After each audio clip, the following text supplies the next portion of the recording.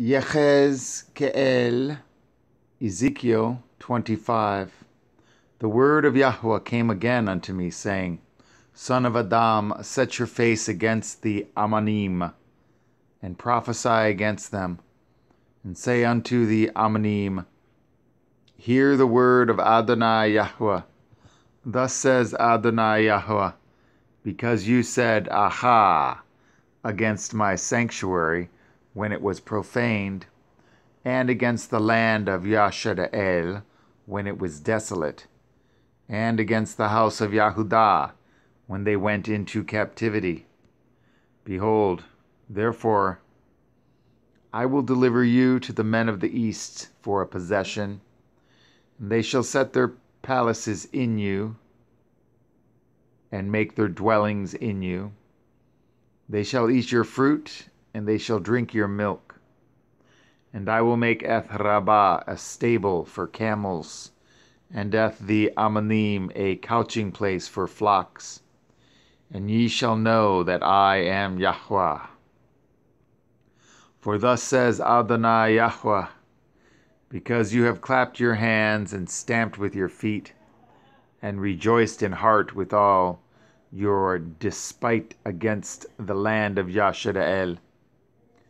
Behold, therefore I will stretch out at my hand upon you, and will deliver you for a spoil to the heathen, and I will cut you off from the people, and I will cause you to perish out of the countries. I will destroy you, and you shall know that I am Yahweh. Thus says Adonai Yahweh, because that Moab and Seir do say, Behold, the house of Yahudah is like unto all the heathen. Therefore, behold, I will open eth the side of Moab from the cities, from his cities which are on his frontiers, the glory of the country.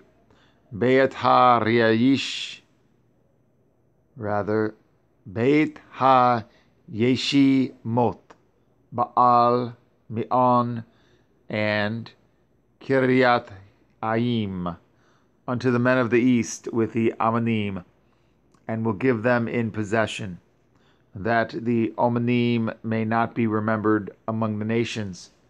And I will execute judgments upon Moab, and they shall know that I am Yahweh.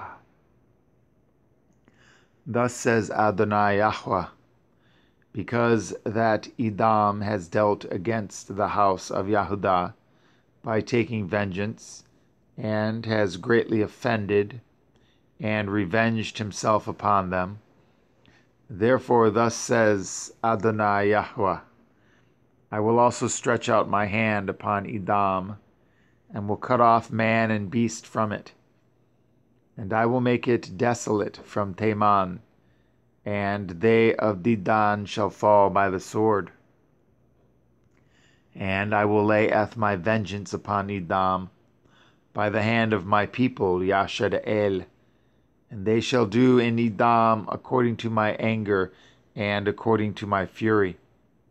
And they shall know eth my vengeance, says Adonai Yahweh.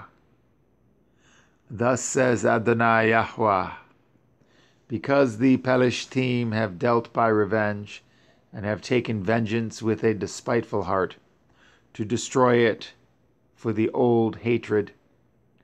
Therefore, thus says Adonai Yahweh Behold, I will stretch out my hand upon the Pelishtim, and I will cut off eth the Kerathim, and destroy eth the remnant of the sea coast. And I will execute great vengeance upon them with furious rebukes. And they shall know that I am Yahweh when I shall lay eth my vengeance upon them.